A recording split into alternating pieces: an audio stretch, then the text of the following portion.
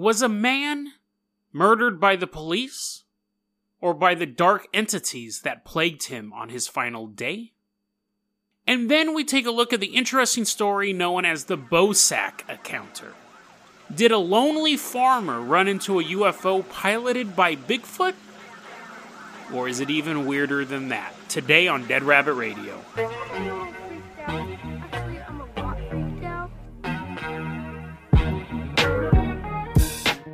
Hey everyone, welcome back to another episode of Dead Rabbit Radio. I'm your host, sounded awfully official. It like I was trying out for a job on the radio. Hey everyone, welcome back to another episode of Dead Rabbit Radio. I'm your host, Jason Carpenter. I'm having a great day. I hope you're having a great day too. So, you know, one thing I want to talk about real quick, I don't think it, it deserves its own full segment, but it's something I have to address Again, it happened during the break. It was another thing that kind of happened during the break. YouTube says that they are going to they're going to stop recommending conspiracy videos. Now, you may think, well, Jason, this video you talk about conspiracy theories, but you, you kind of like poo-poo most of them. I still get caught up in that net. I'll do videos where I'm like, Sandy Hook was obviously it obviously happened. It wasn't faked. I don't think it was an inside job or false flag or anything like that. Those videos get flagged by YouTube, even when I'm disputing it. And I don't put any of that in my uh, tags. I don't tag it like that. But when I upload the videos, they do an auto caption. So basically, the computer algorithm reads my video. It's kind of interesting because it'll have the subtitles are probably about like 95% correct. And it picks up that I say, you know, Sandy Hook or whatever. Even though I'm saying that did happen, that it is not, that all of that stuff is conspiracy theory, it's not true, I still get flagged and you can see videos they'll have a disclaimer on them saying this is what really happened during sandy hook. And i was like yeah that's what i said. You're you're posting a disclaimer saying what i said and i'm fine. It's youtube's it's youtube's uh, place whatever. Like i get that they have those algorithms in place. So there that decision may affect the youtube side of the show. It's obviously not going to affect the podcast side. However a lot of listeners have discovered the podcast through youtube. We'll see how that plays out. Now i was talking to mitchum about it and I said, you know, because he's like, yeah, it's the end of an era. I said, yeah, you know, that's where most people get their conspiracy theory information from is YouTube. They're still going to allow those videos. They're just not going to recommend them. So now when I type in, great, now this video is going to get get uh, put on there. But when I type in Adam Lanza or Sandy Hook or whatever, it's no longer going to recommend any conspiracy videos. It's only going to be official stuff. And that, from a business side, that makes sense. Again, I'm not faulting YouTube for that at all. Because now, if you type in Adam Lanza or 9 11, most of the stuff you're going to get is going to be conspiracy theory. I don't know about right now, but definitely a week ago, that was the case. So, but we were talking, and this is an interesting thing. At what point does something stop becoming a conspiracy theory? Obviously, if you type in 9 11, you type in Sandy Hook, you're going to get all the conspiracy videos. What if I type in, are vaccines healthy? And Mitchum goes, well, at what point, that was his question, at what point does it become a conspiracy theory versus just a weird medical practice. And vaccines is actually a good one to look at because that people on both sides of the aisle, you have left wingers and right wingers who will not vaccinate their kids. It's one of the it's one of the few conspiracy theories that goes across both political across the political spectrum. Sandy Hook tends to be people, oh, they're trying to grab our guns, that's why it's fake and stuff like that. That tends to be a more conservative conspiracy theory. And then Mitchum was like, "What about re- like at what point do we look at religions like Scientology and say, no, no, no, no, we're not going to. If you put in, I'm feeling depressed, or tips for depression, uh, will a Scientology video pop up, or is that a conspiracy theory? And those are interesting questions. And again, we're just kind of chatting on Messenger about this stuff, and YouTube has to deal with all that stuff now. And my thing is, if and this is what I told him too, if Robert Mueller's report comes back saying Donald Trump did not collude with the Russians, does that mean if I ever type in Donald Trump Russians, is that all a conspiracy theory now? Because it was proven false?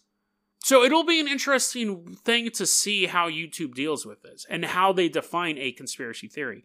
I imagine they're just going to take the big ones first 9 11, Sandy Hook, the Aurora shooting, you know, like the Boston bombing. I think they're going to take on those first, but eventually people will say, hey, why are you letting anti vaxxers? Why did I type in this video about I want to know about the measles, mumps, and rubella vaccine and everything that popped up was some weird conspiracy theory? They're really going to have to drill down on this if this is the path they want. Because they'll get taken to task for still recommending certain conspiracy theories. It's a slippery slope for them. But yeah, that was another bit of news that happened while I was on vacation. I'm actually not even going to upload that part to YouTube. Ha! Joke's on you, giant conglomerate. You're not getting any ad money for my six minute video. See, I beat the filter. If you want to hear that juicy detail, you should listen to the podcast. Let's go ahead and get started with our first story. First story is kind of tragic, and you may go, Jason, that's quite insensitive. You're trying to turn this into something that it may not be. And I'm very aware of that. So I'm going to try to tread lightly in a sense. But I do think it's a very interesting story, and I think the way it's being reported is very interesting. January 2019. This happened probably right before my vacation started.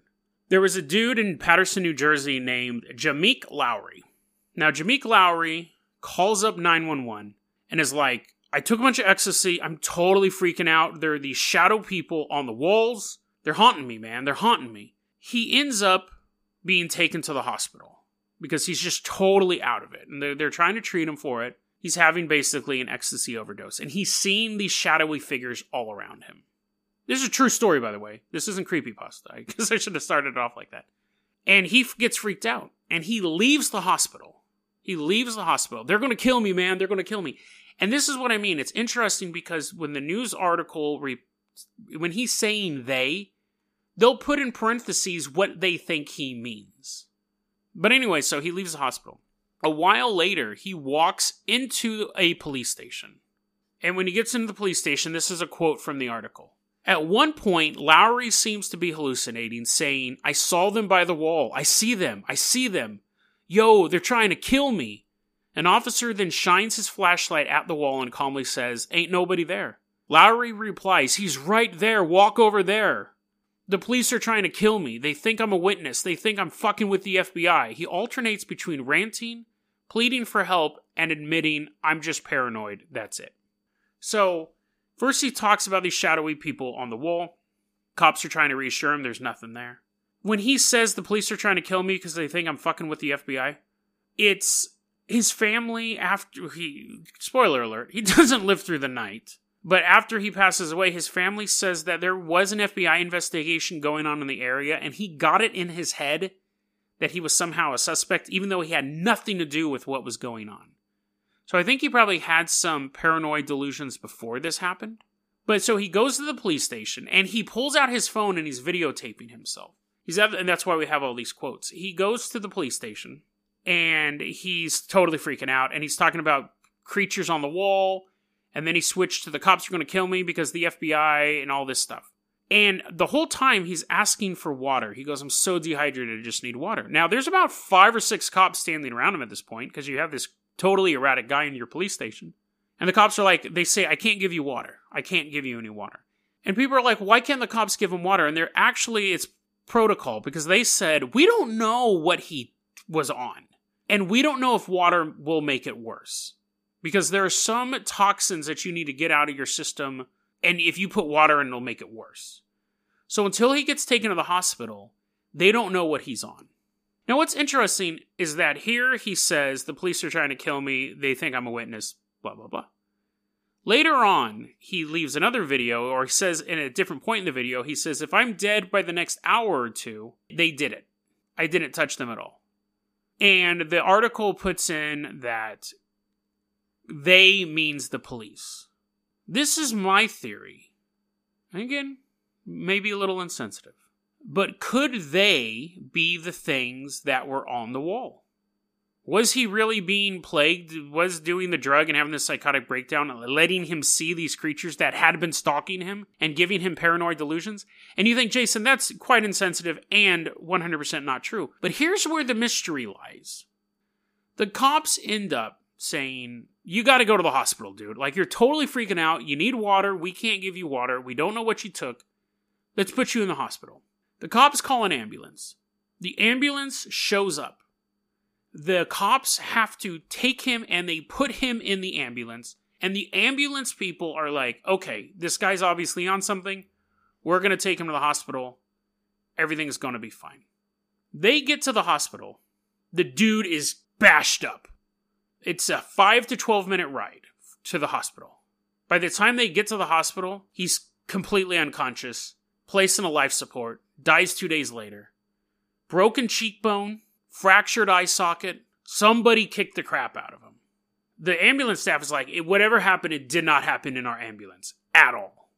Didn't happen. There was no, there weren't a bunch of cops back there beating him up. When the cops put him in, they did have to restrain him to put him in the ambulance, but the ambulance drivers were watching it. Now you could say maybe everyone's covering for each other. But the ambulance the ambulance drivers really don't have any reason to cover for these cops. Because they're the, the ambulance drivers are being held responsible. They're like, why did this guy get picked up? And then when he comes out, his face is bashed in. And the ambulance drivers are like, we don't know. Like it makes them look suspicious. They could have been like, well, the cops were treating him a little rough, you know. Cops put him in the back of the ambulance. The ambulance drives to the hospital. The dude arrives completely unconscious, beat up. The cops are like, we put him in the ambulance. We had nothing to do with it. He dies two days later. The cops are on administrative leave. They're investigating the ambulance drivers, and nobody's pointing the finger at each other. They're both saying, We don't know. That's what makes the story weird. Now, it's possible that he gave the. It, it, obviously, the most logical explanations are he was roughed up by the police, and the ambulance drivers are covering for it. He was roughed up by the ambulance personnel, and the police are covering for them. He inflicted the injuries himself in his psychotic delusion. Those are the more likely scenarios. But this is a paranormal conspiracy and true crime podcast. And when I read this article, I was like, that's kind of creepy. He's hallucinating these things. He thinks they're going to kill him. Then he thinks the cops are going to kill him. And then he thinks the FBI is going to kill him. And he dies. Was something else in that ambulance with that young man? Creepy. Creepy story. Okay, so for our next story, which is still, it's creepy on a different angle. Now, our next story is actually a recommendation because it is recommendation week. This is from an email from Bennett. He actually requested or recommended quite a few Bigfoot stories. It's funny, one of them, he was like, Have you ever heard about vanishing Bigfoot? A couple people have referenced that to me as well. And I was like, Oh no, I'll look into it. There's like 300 sightings of vanishing big feet. I'm like, okay, it's going to take me a for it's going to take me a while, but I'll get around to it. But this story is fairly simple. The implications are quite creepy, but it involves a lonely farmer, a dark, foggy night, and a close encounter of the furred kind. It's winter, 1974, and we are in Polk County, Wisconsin, home of four touchdowns in a single game. There's a dude, he's 68 years old, named William Bosak. Now, generally, UFO sightings when people are like, dude, I dropped like eight tabs of acid and saw God last night, I'm obviously gonna dismiss that. But there is something with people, like older people who see UFOs, you're like, you know, what, what does that guy have to, like, that guy's probably not making that up. Eh, most UFO sightings I actually don't think are made up. I don't think most ghost sightings are made up either. I think people are either mistaken or it's their imagination, and some of them are real. But it's funny because whenever you see UFO stories from people who seem to be like salt of the earth people, you're like, I imagine my grandpa like seeing a UFO. If my grandpa saw a UFO, he'd never tell anybody. He'd be like, oh, that was weird. Because some people, like the people who go looking for this stuff, of course, they're going to tell everyone they know. They're going to be in line at the grocery store and they'll be like, guess what? I saw a UFO fly by. And people are like, paper, you know, plastic or paper. Like, they don't, they'll tell everybody. But whenever you meet someone who's basically just like a farmer out in the, a middle-aged or over-the-hill farmer out in the middle of nowhere who experiences some sort of paranormal phenomenon, it does add a little weight to it. You may think that's a little ageist, but I, you know, I actually know it's not because I'd say the same thing. If there was like a 20-year-old guy working at the oil drill factory, and that's all he did, he was just like a salt of the earth guy, or he was a, a rodeo dude. Like there are just some people that seem more serious I've talked to a lot of hunters up here. Whenever I meet someone who's hunting, we'll talk a bit, and I will ask them, "Have you ever seen a Bigfoot?" And a lot of times they'll be like, "Nah, nah, I don't believe in it." But every so often, I'll be talking to some dude, young or old, and I'll be like, "Have you ever seen Bigfoot?" And they're like, uh, "Maybe," and they'll tell me a story. It's so you know because again, they're people who are out in the woods all the time. They're not like out there with their camcorders and their night vision goggles. They're just out there trying to hunt deer. And one day they'll be like, yeah. I've actually heard quite a few stories where they're like, I didn't see one, but I smelt one. I've grew up in the woods. I used to hunt. I've been hunting since I was six with my dad. I go there every season, deer season.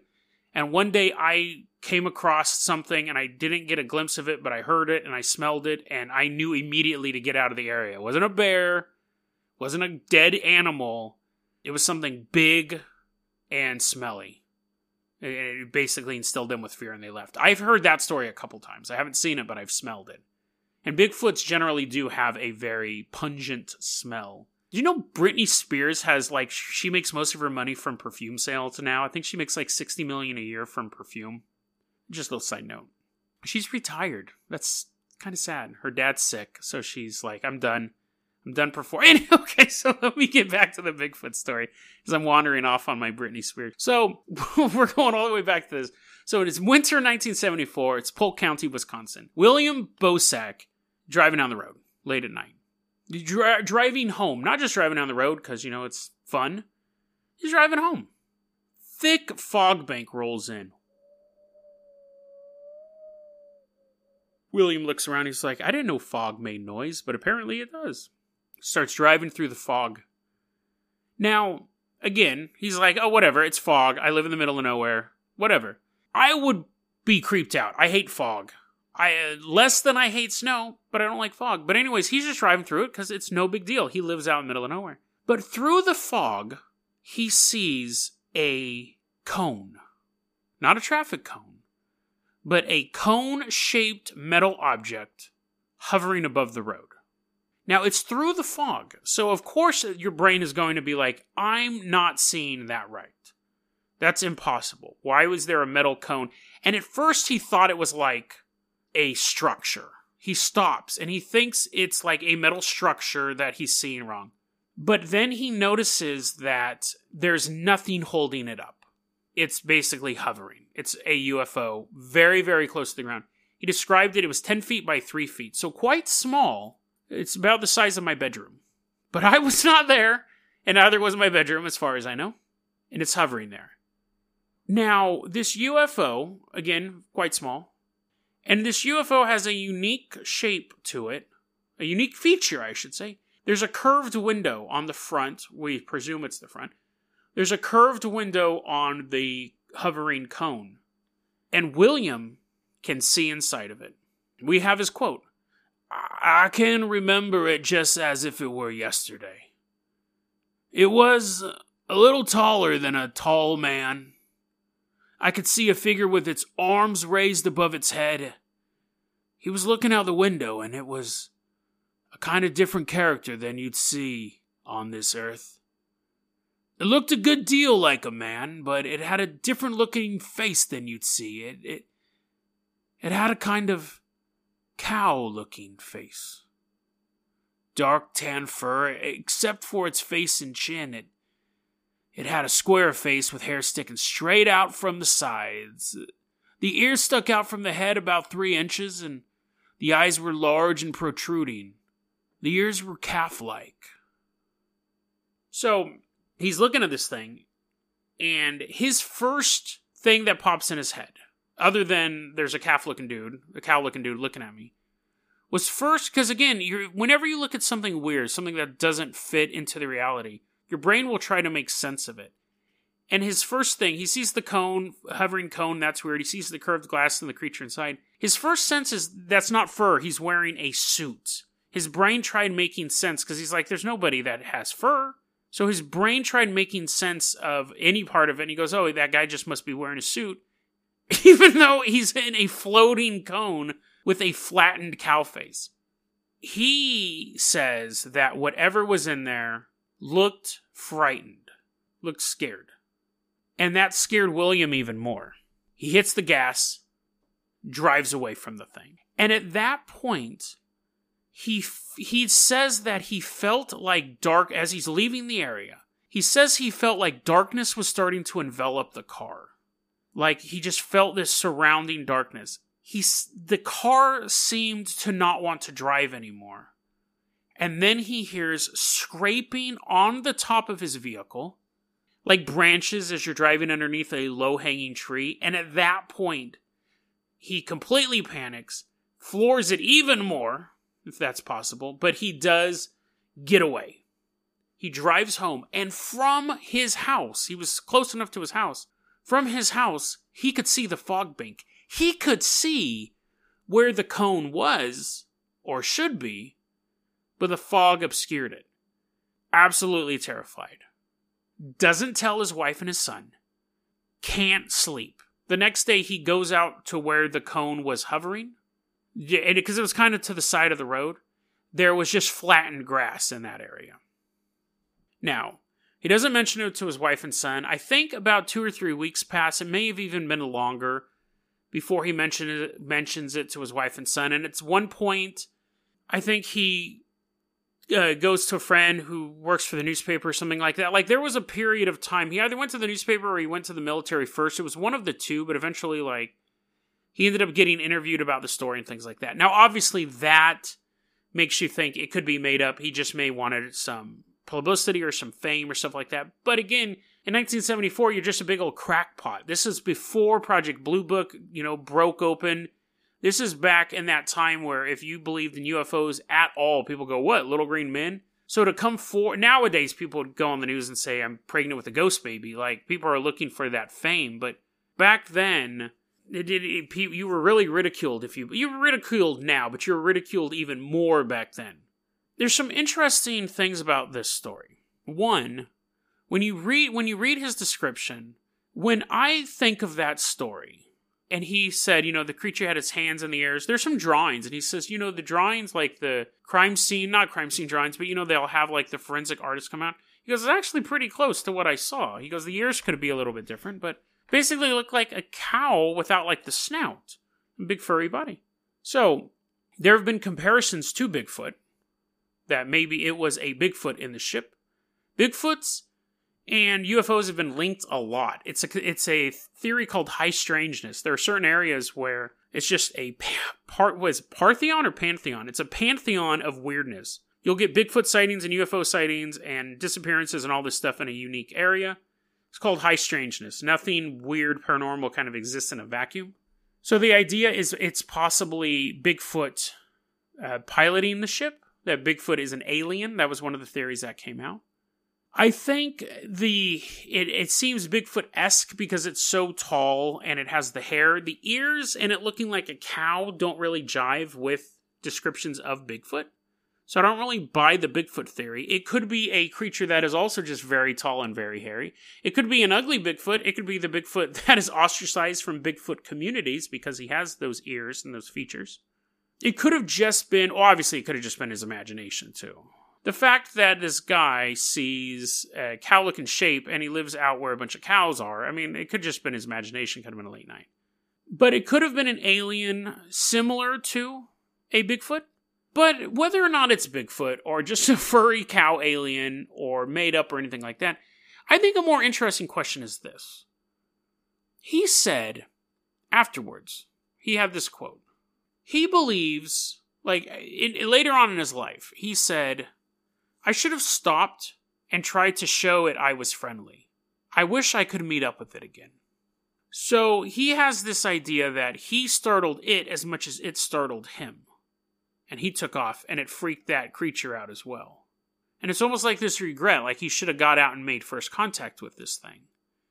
I don't think it was the pilot of that ship.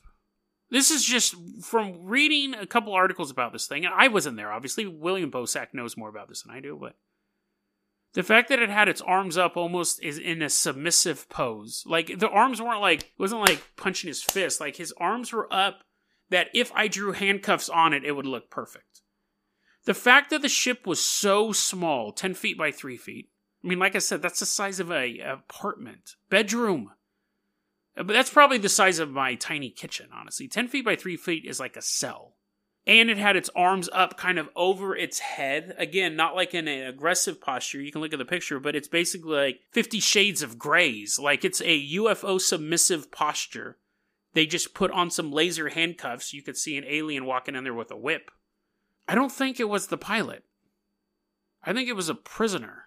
Is it possible that it was some sort of Bigfoot creature or some sort of cryptid that wasn't the pilot of this ship in the middle of nowhere, but it's captive. And the reason why it was scared wasn't because it was seeing a human. It may have been a Bigfoot creature that is used to seeing humans, that knows it exists on the same planet as humans, but it was as terrified to see the UFO as William Bosak was. If you have a creature that's taller than a tall man, so let's say seven, eight feet tall, and the ship is only 10 feet tall, that's a tiny ship. Was he a prisoner? Are aliens also abducting Bigfoots and other cryptids from our planet? And more chilling, if that ship was there and it hadn't abducted the creature that it did, would William Bosak instead, would it have been him to forever disappear into that fog bank? Deadrabbitradio at gmail.com is going to be our email address. You can also hit us up at facebook.com slash deadrabbitradio. Twitter is at Jason O. Carpenter. Dead Rabbit Radio is the daily paranormal conspiracy and true crime podcast. You don't have to listen to it every day, but I'm glad you listened to it today. Have a great one.